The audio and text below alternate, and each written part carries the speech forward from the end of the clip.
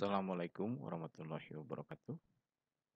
Pada pertemuan kali ini kita akan membahas mengenai apa yang dinamakan harden ability. Berikut adalah hal-hal yang terkait kepada harden ability ataupun mampu keras.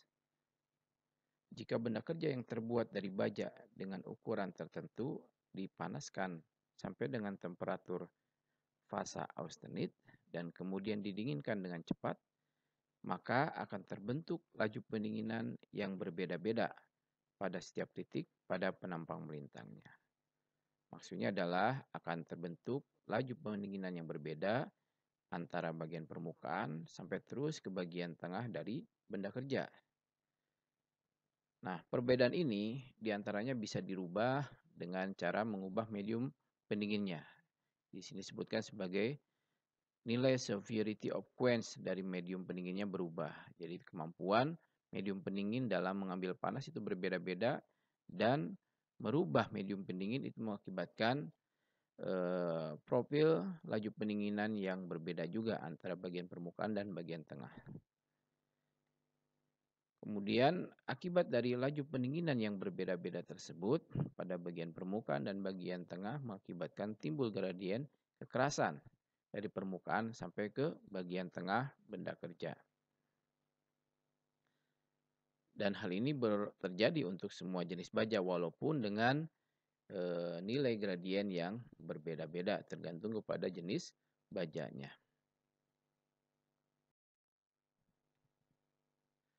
Nah, berikut adalah contoh profil kekerasan. Jadi ini adalah bagian permukaan, kemudian ke sebelah kanan ini adalah bagian tengahnya, kemudian sumbunya adalah kekerasan. Jadi pada umumnya akan terbentuk profil kekerasan yang seperti ini, yaitu bagian permukaan paling keras, kemudian semakin ke tengah semakin rendah kekerasannya. Dikarenakan laju pendinginan itu akan menurun dari permukaan ke bagian tengah. Nah, kemudian ini adalah e, ilustrasi dua jenis baja yang mempunyai karakteristik yang berbeda. Ini adalah kekerasan, kemudian ini adalah posisi di permukaan, tengah, kemudian permukaan. Jadi di bagian permukaan akan paling tinggi nilai kekerasannya, bagian tengah adalah yang paling rendah. Dua jenis baja ini menunjukkan situasi yang sesama tetapi gradien kekerasan yang dihasilkan berbeda. Artinya di sini bahwa jenis baja yang berbeda akan mempunyai profil kekerasan yang berbeda dari permukaan ke bagian tengahnya. Mampu keras suatu baja didefinisikan sebagai susceptibilitas kecenderungan baja untuk dikeraskan dan ini terkait dengan dalamnya pengerasan serta distribusi kekerasan sepanjang penampang. Jadi hal ini bahwa mampu keras itu terkait kepada dalamnya pengerasan, kemudian juga distribusi kekerasan. Dan ini tidak ada kaitannya dengan capaian kekerasan maksimum. Kekerasan maksimum sendiri merupakan fungsi dari kadar karbon dan hanya tercapai jika semua karbon larut ke dalam austenit kemudian laju pendinginan kritik sekurang-kurangnya tercapai, kemudian tidak terjadi sisa setelah didinginkan dengan cepat. Jadi yang masih dengan laju pendinginan kritik ini adalah laju pendinginan yang bisa menghasilkan fasa martensit 100%. Kemudian tidak terjadi fenomena auto tempering. Jadi medium pendingin tidak mencapai, tidak mengalami kenaikan temperatur sampai dengan temperatur dari proses tempering. Sedangkan mampu keras tergantung kepada selain kadar karbon juga, yaitu kepada unsur paduan. Jadi bukan hanya bergantung kepada kadar karbon, tetapi juga bergantung kepada unsur paduan, kemudian ukuran butir austenit, kemudian kemampuan medium pendingin dalam mengambil panas atau disebut sebagai severity of quenching, kemudian ukuran benda kerja yang diproses dan kriteria kekerasan yang ingin dicapai. Jadi kalau kriteria kekerasan yang ingin dicapainya berbeda, tentu kemudian secara kuantitatif nilai mampu kerasnya akan berbeda juga.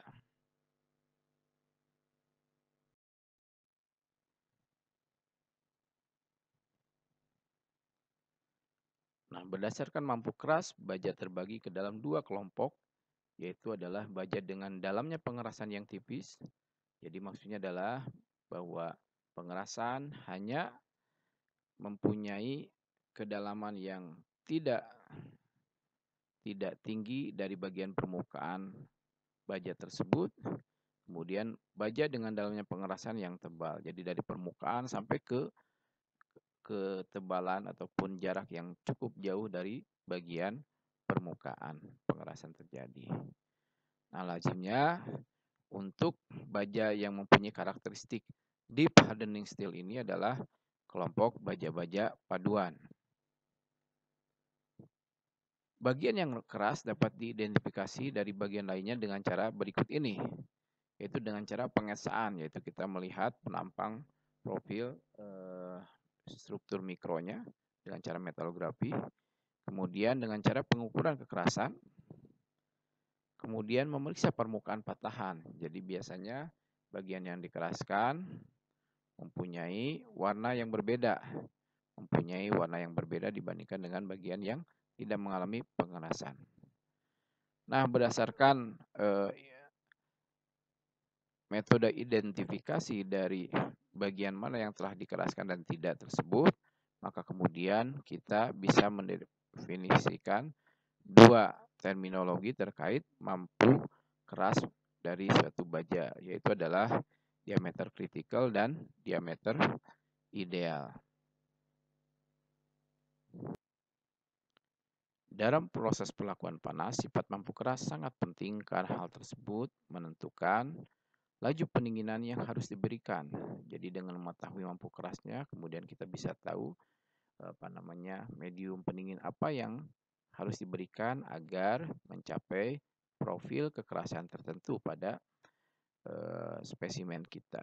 Kemudian kita juga mempunyai ekspektasi kekerasan yang harus dicapai oleh suatu spesimen baja dengan medium pendingin tertentu. Nah, berikutnya kita lihat hubungan antara mampu keras dengan laju transformasi. Kita bisa tahu bahwa yang namanya kekerasan berkaitan dengan terbentuknya fasa martensit. Kita lihat ini adalah diagram CCT. Nah, kemudian eh, terbentuknya fasa martensit bergantung kepada laju pendinginan. Laju pendinginan yang cepat seperti dua laju pendinginan di sini menghasilkan fasa martensit. Dan kita tahu bahwa ketika apa namanya spesimen didinginkan, maka akan terjadi apa namanya gradien laju pendinginan dari permukaan ke bagian tengah sehingga kemudian dihasilkan nilai kekerasan yang berbeda antara bagian permukaan dan bagian tengah akibat laju pendinginan yang berbeda pada permukaan dan terus sampai ke tengahnya. Ada beberapa cara untuk kita menentukan mampu keras dari suatu logam. Yang pertama adalah mengikuti cara Grossman dan Bain, yaitu beliau menentukan diameter kritikal dari suatu baja berkaitan dengan mampu keras. Kemudian ada cara ataupun metode Gemini. Kemudian ada cara melakukan estimasi harden ability dari komposisi kimia kemudian melalui tes fracture. Nah, cara dua yang di atas merupakan cara yang paling lazim biasa dilakukan. Nah, kita lihat Grossman Bain Critical Method. Jadi, menurut Grossman, yang dimaksud dengan diameter kritikal adalah diameter penampang melintang suatu baja di mana seluruh penampang melintang tersebut mengalami pengerasan. Nah, kemudian didefinisikanlah bahwa yang dimaksud dengan mengalami kekerasan adalah e, suatu kondisi di mana strukturnya mempunyai 50% martensit dan 50% perlit. Itulah yang dimaksud dengan e, mengalami ke, e, pengerasan atau kita katakan bahwa telah terbentuk setidaknya 50% martensit. Nah, kondisi ini merupakan fungsi dari komposisi, ukuran butir austenit, kemudian kemampuan medium pendingin dalam mengambil panas ataupun severity of quench, dan ukuran benda kerja. untuk kondisi yang sama, makin besar diameter kritikal suatu baja, makin besar mampu kerasnya. Jadi mampu keras ini di sini adalah ukurannya diameter kritikal. Semakin besar diameter kritikal dari suatu baja, maka kita katakan mampu kerasnya semakin baik. Nah, berikut kita lihat contoh bagaimana diameter kritikal ditentukan. Jadi ini adalah kekerasan, kemudian ini adalah e, profil kekerasan pada spesimen dengan berbagai ukuran diameter.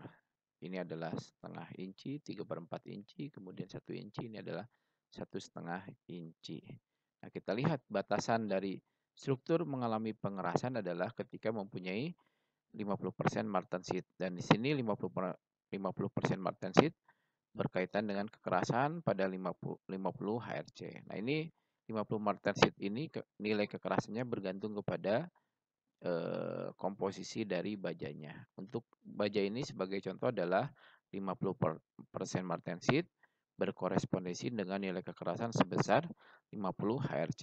Jadi kita lihat adalah pada spesimen dengan ukuran 1 inci eh, mengalami pengerasan semuanya, artinya mengalami transformasi ke at least 50% martensit. Nah, untuk satu setengah inci sudah didapatkan bagian tengah di mana kekerasannya tidaklah sebesar 50 eh, Hz ataupun tidaklah berkorespondensi dengan terbentuknya 50% martensit di daerah ini. Jadi ini adalah diameter terbesar di mana telah terbentuk pengerasan pada baja tersebut atau telah terbentuk setidaknya 50% martensit. Jadi ini adalah menurut metode Grossman dan Ben. Nah, seperti sudah disebutkan sebelumnya, faktor yang berpengaruh terhadap besarnya diameter kritikal adalah di antaranya harga security of quench ataupun kemampuan medium pendingin dalam mengambil panas. Dinotasikan dengan H.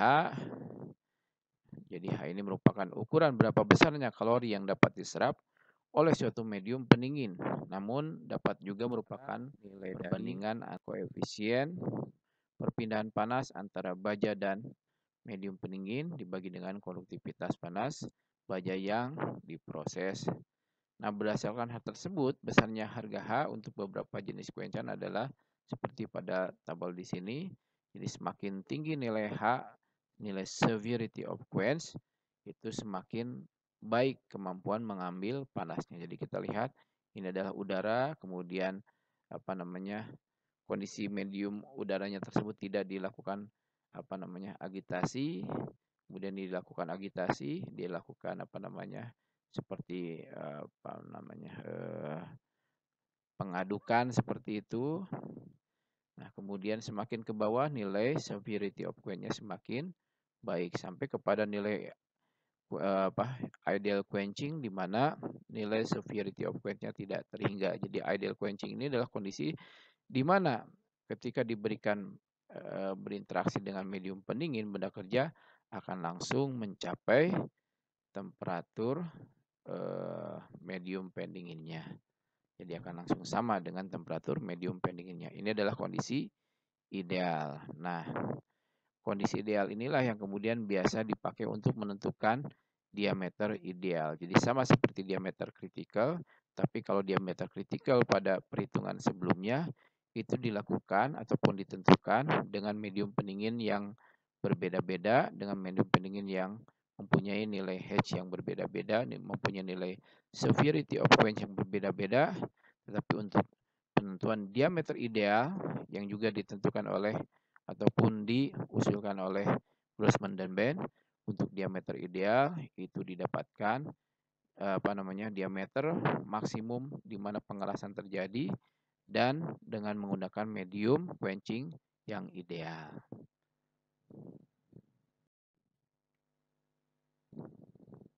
Nah, kemudian tadi sudah disebutkan bahwa mampu keras juga dapat ditentukan dari komposisi kimia. Jadi di dalam hal ini adalah penentuan nilai diameter ideal diperkirakan melalui analisis terhadap komposisi kimia dan ukuran butir austenit. Metode ini didasarkan pada kenyataan bahwa pengerasan baja dikontrol oleh kadar karbon dan kemudian juga unsur paduan menentukan. Jadi mampu keras yang didasarkan pada diameter ideal selain ditentukan berdasarkan kadar karbonnya juga ditentukan oleh ukuran butir austenit sedangkan pengaruh unsur paduan terutama seperti nikel, mangan dan kromium sangat efektif terhadap peningkatan mampu keras. Dengan demikian untuk menghitung diameter ideal digunakan rumus berikut. Jadi diameter ideal ini adalah diameter kritikal dikalikan dengan faktor pengali dari unsur e, mangan, faktor pengali dari unsur kromium, dan faktor pengali dari unsur nikel.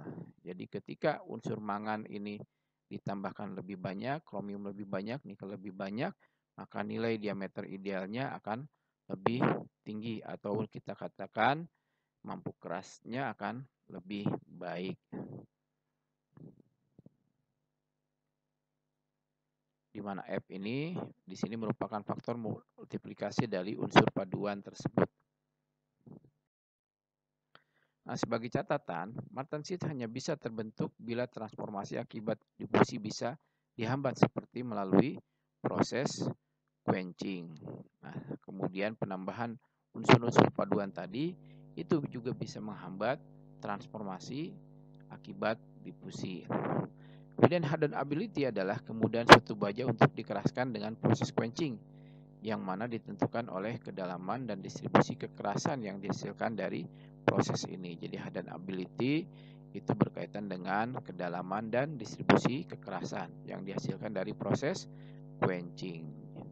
Jadi bukanlah e, apa, berkaitan dengan proses heat treatment yang e, dilakukan dalam kondisi seimbang seperti dengan pendinginan di tungku. Tidak seperti itu, tetapi berkaitan dengan kedalaman dan distribusi kekerasan setelah dilakukan proses treatment dengan proses quenching. Nah, hal ini ditentukan oleh kemudahan untuk terjadinya transformasi menjadi fasa martensis saat quenching. Jadi eh, apa namanya? seiring dengan uh, jarak dari permukaan suatu baja maka akan terjadi perbedaan kemudahan untuk terjadinya transformasi fasa menjadi martensit saat quenching dan hal itulah yang kemudian mengakibatkan profil kekerasan berbeda-beda dan juga menunjukkan perbedaan mampu keras dari suatu baja. Nah, kita lihat ini adalah contoh data untuk baja 1045. Ini adalah baja yang tergolong kepada plain carbon steel, komposisi karbonnya 0,45. Nah, kemudian kita lihat ini eksperimen dilakukan pada baja tersebut dengan berbagai ukuran diameter. Kemudian kekerasan diukur sepanjang penampang melintang dan dengan meningkatnya diameter, kekerasan permukaan menurun dan juga bagian dalamnya. Jadi kita lihat ini adalah baja dengan diameter yang paling kecil sampai ke bagian tengahnya mempunyai kekerasan di atas 50 HRC. Kemudian semakin meningkat kita lihat bahwa kekerasan di bagian permukaannya menurun dibandingkan dengan baja yang di dalamnya ini dan kemudian juga bagian tengahnya mempunyai kekerasan yang lebih menurun kembali. Terus sampai ke bawah kita lihat bahwa kekerasan permukaan menurun dan juga kemudian profil melintangnya kita lihat akan lebih banyak bagian permukaan bagian dalam yang mempunyai kekerasan yang lebih rendah. Nah, kemudian kita banding Nah, kemudian kita lihat di sini untuk baja paduan 6140 bila dibandingkan dengan SIS 1045 yang unsur paduannya lebih sedikit, kekerasan lebih tinggi pada semua diameter untuk baja paduan 6140. Nah, dari dua gambar ini, gambar kita bisa melihat bahwa faktor diameter sangatlah signifikan berpengaruh terhadap mampu keras, yaitu berkaitan dengan distribusi kekerasan dan kedalaman kekerasan. Nah, kemudian kalau kita lihat perbandingan antara 6140 dan 1045 ini menunjukkan bahwa kandungan paduan juga berpengaruh signifikan terhadap distribusi kekerasan. Nah, faktor ketiganya adalah berkaitan dengan medium pendingin. Kita lihat ini adalah profil kekerasan pada berbagai diameter untuk SAE 1045 dan SAE 6140 tetapi dengan medium pendingin yang berbeda yaitu dengan oli. Jadi kita lihat dari profil kekerasannya untuk keduanya lebih rendah dibandingkan dengan pendinginan di air dan untuk 1045 respon terhadap quenching di oli sangat rendah ya. Kita lihat jauh dia di bawah 50 HRC kekerasannya. Sedangkan SAE 6140 lebih baik dan ability-nya dibandingkan dengan 1405. Jadi bukan hanya di apa namanya medium air tapi juga di medium oli sama kondisinya dan lebih parah lagi eh, pengurangan harden ability untuk 1045. Nah, unsur paduan pada SAE 6140 ini Kenapa kemudian apa namanya terjadi harden ability yang seperti ini dikarenakan unsur paduan meningkatkan waktu yang diperlukan untuk transformasi menjadi fasa perlit. Nah, atau kita katakan bahwa unsur paduan mempersukar terbentuknya transformasi ke fasa perlit.